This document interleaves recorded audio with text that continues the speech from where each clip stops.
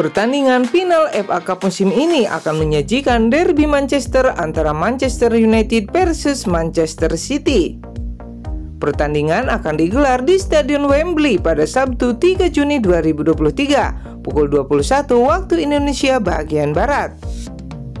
Manchester United lolos ke babak final setelah mengalahkan Brighton di babak semifinal. Anak asuh Erik Ten Hag menang lewat drama adu penalti dengan skor 7-6 setelah hanya bermain imbang 0-0 di waktu normal. Sementara Manchester City melaju ke partai final setelah menaklukkan klub championship Sheffield United dengan skor telak 3-0.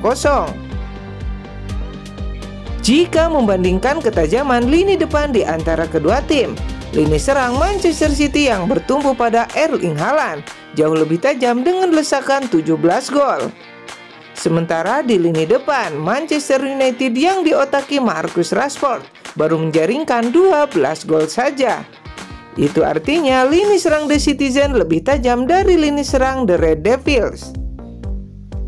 Jika membandingkan kesolidan lini pertahanan di antara kedua tim, gawang Manchester City yang dikawal Ederson Moraes tampil sempurna dengan 0 kebobolan atau belum pernah dibobol lawan-lawannya.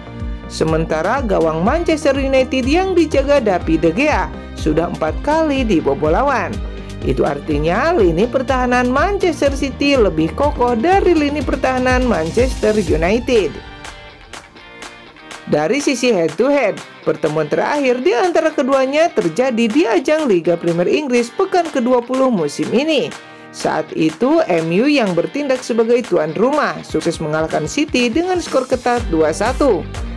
Sementara di pertandingan Liga Inggris pekan ke-9 saat laga digelar di Etihad Stadium, City sukses membungkam MU dengan skor telak 6-3. Untuk urusan skuad, Erik Ten Hag sangat dipusingkan dengan banyaknya pemain inti yang tidak bisa diturunkan karena cedera, seperti Lisandro Martinez, Rafael Varane, Scott McTominay, Van de Beek, dan Alejandro Garnacho. Sementara di kubu Manchester City, pemain bertahan Nathan Ake diragukan tampil akibat cedera. Prediksi admin, Manchester City akan mengalahkan MU dengan skor 3-1. Bagaimana menurut kalian? Silahkan tulis pendapat kalian di kolom komentar di bawah ini ya guys.